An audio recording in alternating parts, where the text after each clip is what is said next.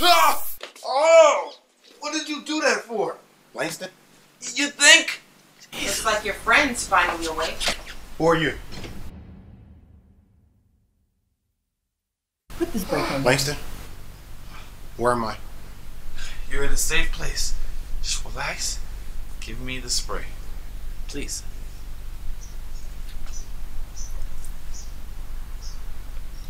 Fortunately, you weren't taken in by the tappers.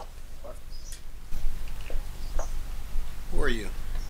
I'm Sergeant Nicole Rosa Parkway, but you can call me Rosie. But what I want to know is, how are you still alive? That's the same thing Langston said.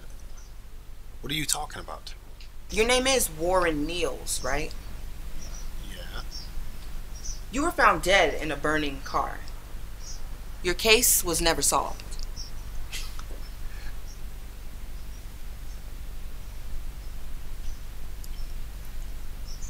I do remember s- sleeping sleeping in some car and I hear this loud bang and, and I wake up in some kind of strange room What room? Where? near a park on uh, McCurson Street. Can you take me there? Why?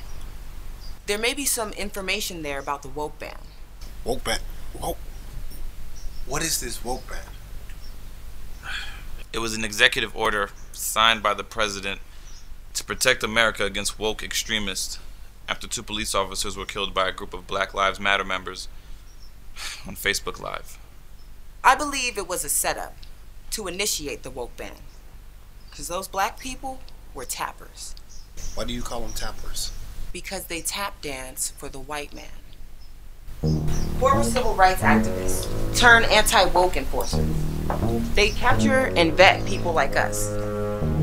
And once captured, you don't come back the same.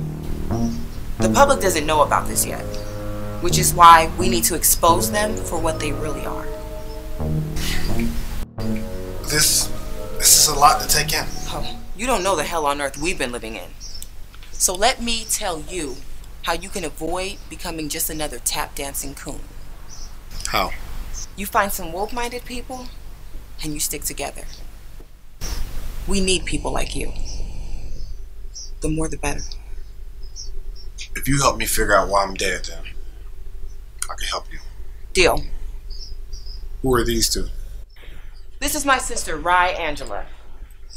She was a senior leader for Black Lives Matter before they were disbanded.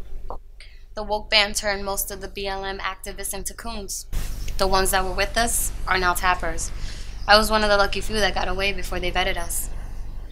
And you know Langston Moor already. He carried your limp body in here. Mm-hmm. And this is my good friend, Shaun McQueen. Are white people affected by this too? Like, I'm not white. I'm actually black. That's not how the tappers see it. They treat pasty people like you really good. Look, that doesn't mean that I'm white. It just means that they're judging me based upon the pigment of my skin, not me. Exactly. If your skin is white, then you're white. Whatever. Look, I'm tired of arguing with you. Just accept your white privilege. There's nothing to be ashamed of. Understand Yeah, why you not- think it's. We got a lot of work to do. Langston, you have any new information from your informant?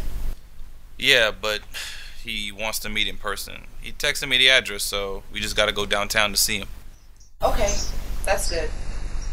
And Ryan and Sean will go with you to meet up. Cool. Oh, shit. What is it, Ryan?